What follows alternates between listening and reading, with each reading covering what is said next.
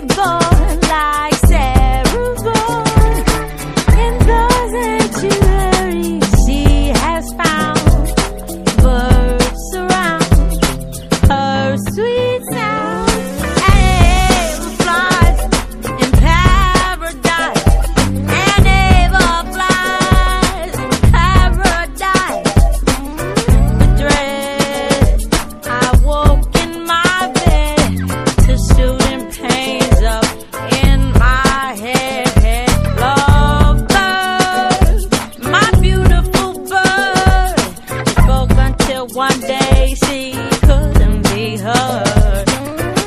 She spoke until one day.